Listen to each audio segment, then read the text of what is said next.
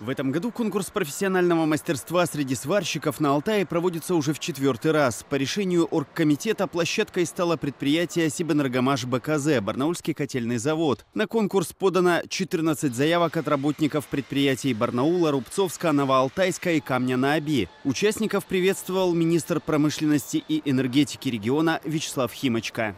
Он также отметил роль конкурса в укреплении престижа рабочих профессий в среде молодого поколения.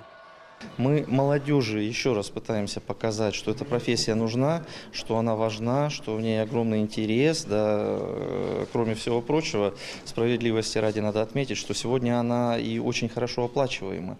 Если ты хороший сварщик, ты очень-очень хорошо можешь зарабатывать. Конкурс делится на две части. Теоретическую – это 25 вопросов, и практическую – сварное соединение трубы под углом. На заводе Сибэнергомаш БКЗ подготовили 5 рабочих мест. Оценивает мастерство конкурсантов жюри. 15 его экспертов – практики, ведущие специалисты по сварке. Задача перед участниками стоит непростая.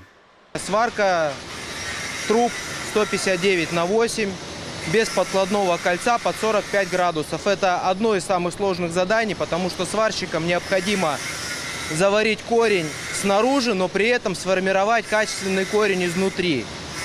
Вот. Дальше образцы пройдут на визуально-измерительный контроль и на рентгенографическое исследование.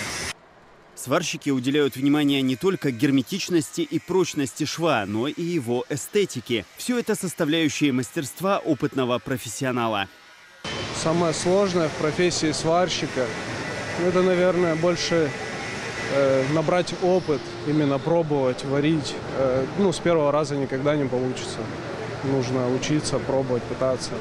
Но а если ты уже ну, достиг какого-то уровня опыта, то никаких проблем нет. В повседневной работе тоже эстетике уделяем большое внимание, потому что должен быть товарный вид, изделие должно быть красивым, приятным.